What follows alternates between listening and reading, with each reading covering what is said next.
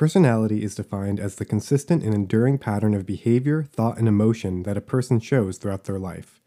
To put it in even simpler terms, personality is how someone acts, thinks, and feels when interacting with the world. While everyone's personality is different, some people have personality traits that are inflexible and maladaptive, resulting in distress, disability, and dysfunction. These people are said to have personality disorders. Before we can talk about personality disorders, though, we must first understand what is meant by normal personality. Humans have come up with various methods to describe personality, even going back thousands of years. Most of these schemes attempt to divide people into distinct personality types. For example, you may have heard of the four humors, including sanguine, for social, extroverted, and fun loving people, choleric, for hot tempered, decisive, and strong willed people, melancholic, for artistic, introverted, and private people, and phlegmatic, for calm, easygoing, and conflict avoidant people. More recently, the well known Myers Briggs Type Indicator similarly attempts to group people into 16 distinct categories. However, while these personality types seem to make sense on first glance, they actually do a pretty poor job of accurately describing someone's behavior, thoughts, and emotions in the long run. This is because personalities are not distinct buckets that people either fit into or not.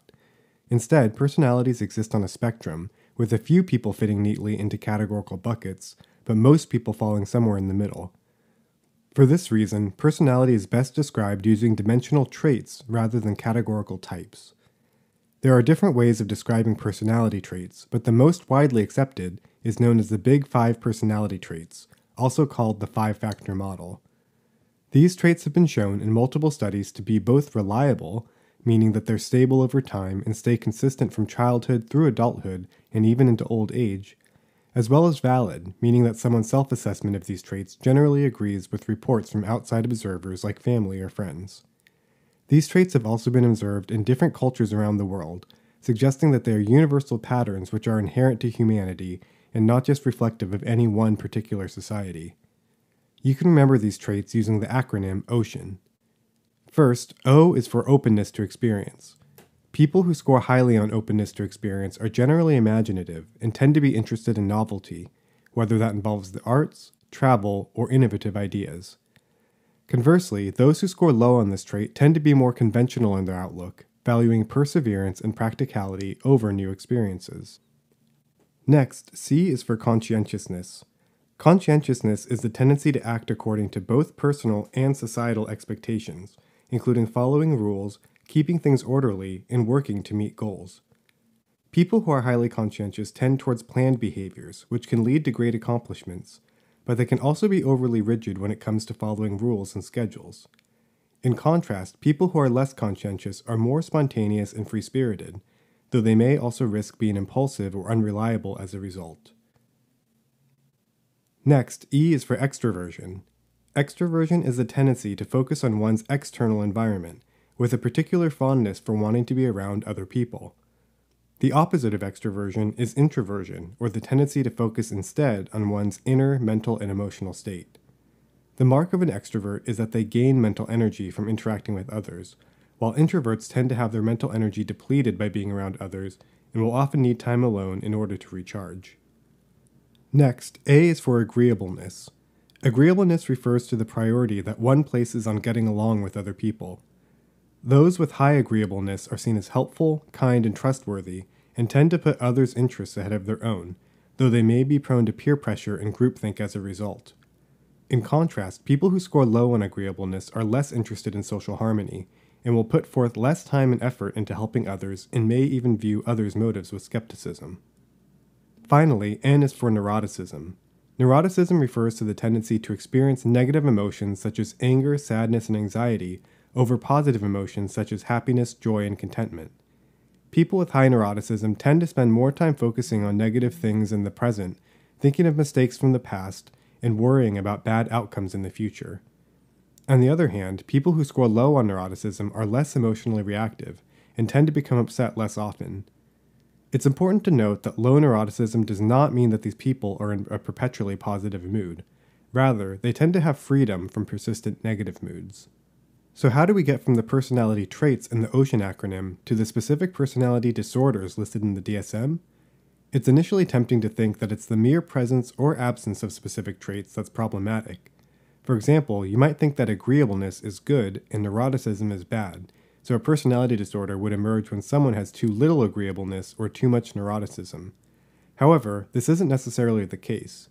None of the ocean traits are inherently good or bad, and even seemingly positive attributes like agreeableness or conscientiousness can become problematic, as we'll see shortly. Instead, personality disorders emerge when specific personality traits become inflexible, disabling, and extreme. Handily, these words form the acronym TIDE, which should be easy to link to the word ocean. Let's look at each of these in more detail. First, I is for inflexible. For most people, personality traits are stable, with someone experiencing similar behaviors, thoughts, and emotions across their entire life.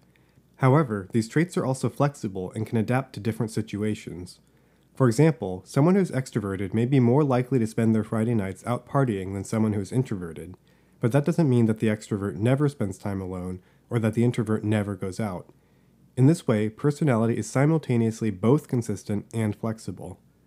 In contrast, problems can emerge when traits become rigid and unbending. For example, someone who is spontaneous and free spirited may bring joy to their group of friends with their exciting and fast paced lifestyle.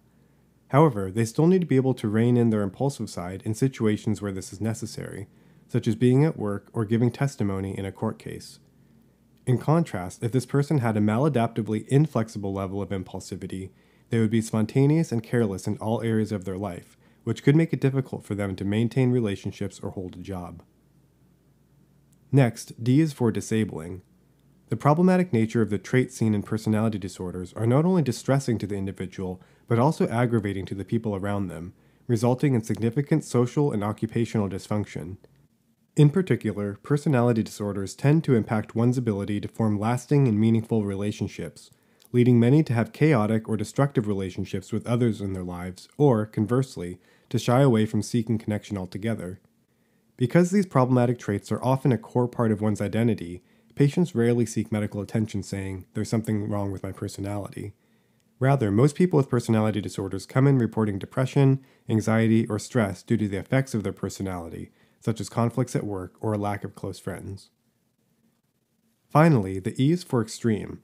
We established earlier that personality traits exist on a spectrum, with most people being somewhere in the middle. In contrast, people with personality disorders tend to live at the extremes, with either incredibly high or incredibly low scores on measures of openness, conscientiousness, extroversion, agreeableness, and neuroticism. The extreme nature of these traits makes it hard for them to operate in situations that call for the other end of the spectrum, leading directly to the inflexibility and disability that we've talked about already. So that's the theoretical basis of how personality disorders emerge.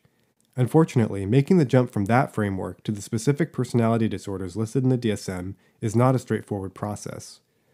This is because the current diagnostic scheme for personality disorders in the DSM is, to be perfectly honest, kind of a mess. The DSM does not base its personality disorder diagnoses on any specific personality framework like the Ocean model. Instead, the personality disorders listed in the DSM are based on old and frankly outdated psychological theories. Like a broken clock that happens to be right a couple of times a day, at times the DSM's diagnostic scheme works, with some personality disorders mapping neatly onto specific ocean traits. For other personality disorders, however, any relationship with the ocean traits or any other validated framework is scarce or even non existent. Nevertheless, the DSM remains the most common way of categorizing mental pathology in the United States, so it's still important to understand how it attempts to characterize and describe personality pathology. Traditionally, the DSM categorized personality disorders into three distinct groups.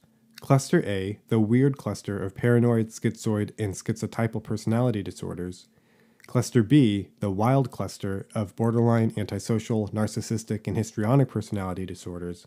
And Cluster C, the worried cluster of dependent, obsessive compulsive, and avoidant personality disorders.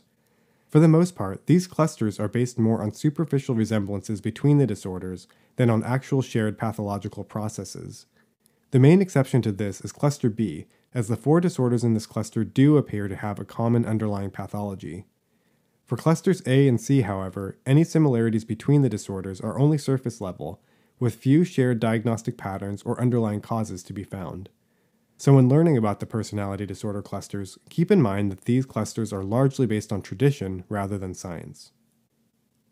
Regardless of their shaky scientific foundations, you may be asked to identify disorders from each cluster, so having a mnemonic to group them can be helpful. You can remember these categories by thinking of what would happen if you were to invite people from each cluster to a party.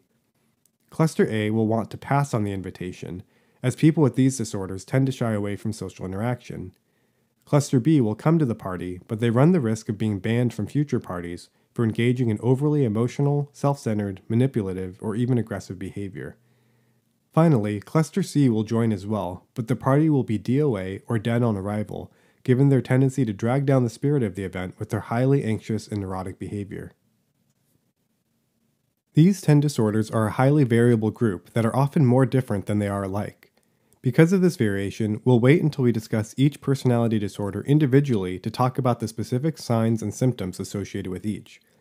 For now, we will focus primarily on the core features shared by all personality disorders, including who gets them, what happens once they do, and what forms of treatment are effective.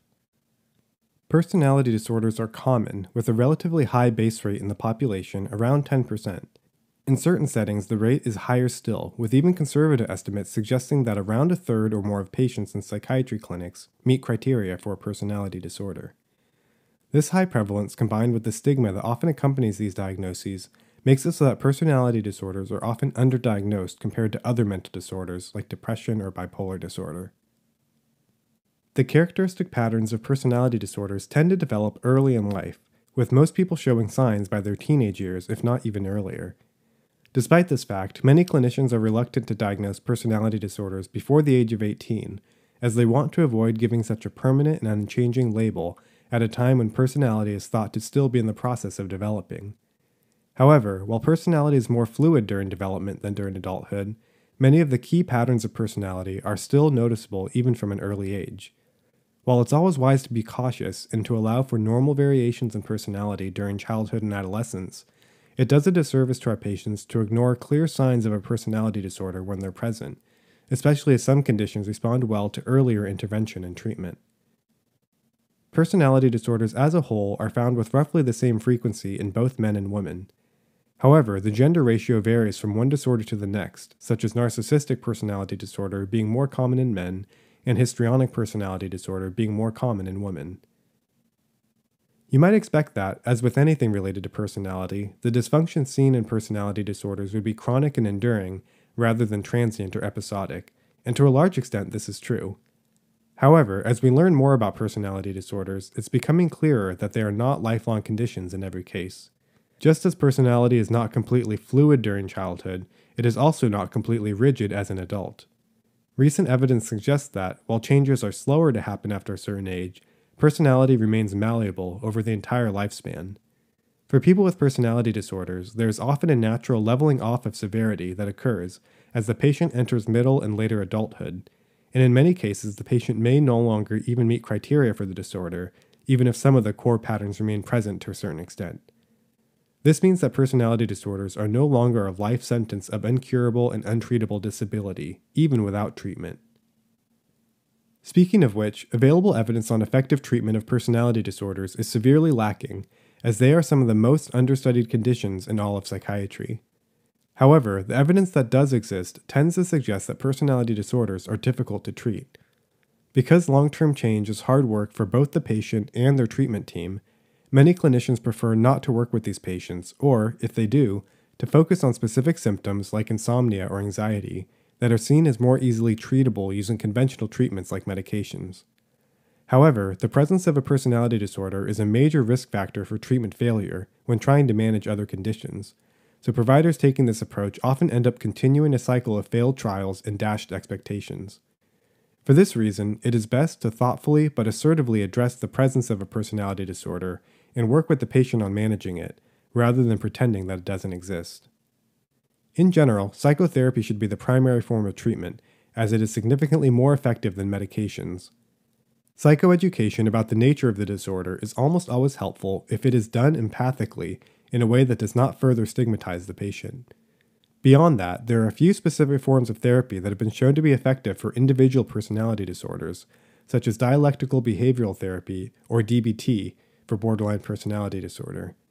We'll cover these when we talk about the individual disorders in more detail. So that's personality disorders in a nutshell. While some clinicians believe that they are doing patients a favor by avoiding the potentially stigmatizing diagnosis of a personality disorder, the fact of the matter is that doing so also deprives them of the benefits of diagnosis, including providing information about their prognosis, predicting their response to treatment, allowing for referrals to evidence based forms of therapy, and relieving distress through psychoeducation. For personality disorders in particular, a diagnosis often provides a helpful unifying framework for why someone is experiencing multiple different types of symptoms at once. There's no doubt that working with personality disorders can be challenging. However, that doesn't erase the need to provide care for our most vulnerable patients, and the cases that are initially the most challenging often end up being the most rewarding as you start to see them make hard won progress towards a better life. And that's it. Thanks for watching this video. I hope it helped you to see personality and personality disorders from a different angle than you might have previously. If you'd like to learn more about personality disorders, subscribe to my channel to be notified when the next set of videos is released. You can also check out my book Memorable Psychiatry on Amazon if you'd like to do a deeper dive. Until next time, bye for now.